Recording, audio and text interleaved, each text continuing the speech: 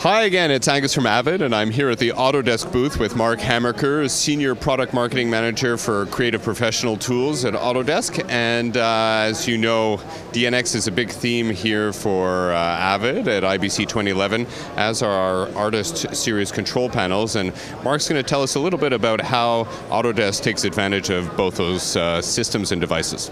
Yeah, well, it, it's been great. You know, ever since we came out with Smoke on the Mac, um, you know, the workflow with Avid has really fallen into place. And we've always worked with Avid products, whether we're taking uh, something from Media Composer and finishing it in uh, Smoke or Flame or any of our uh, products. But uh, yeah, you know, having Smoke on the Mac, being able to read the DNxHD media, it, it really helps you solidify your pipeline.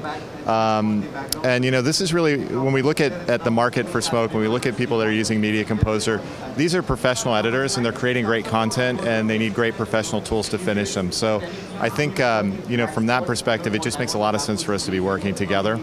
Uh, the other thing, you mentioned the panels, and that's been great too, because being able to take Smoke, which is a really broad application, I mean, Smoke's really the only application on the Mac that that lets you, you know, have the timeline workflow that editors know, the color correction tools and the visual effects, and bringing the Artist Series panel in really helps you turn that into more of a suite experience, really build that, that whole kind of, uh, you know, color grading, navigation, all of it together.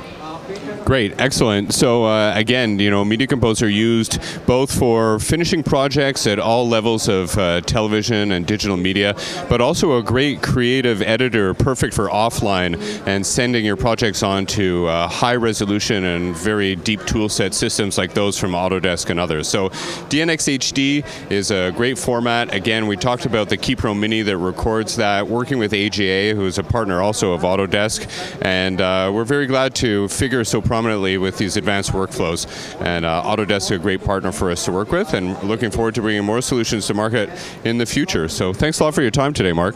Thanks a lot, and uh, everybody be sure to check out both Avid, Media Composer, the panels, yeah, the AJA, this is a great workflow, and check out Smoke.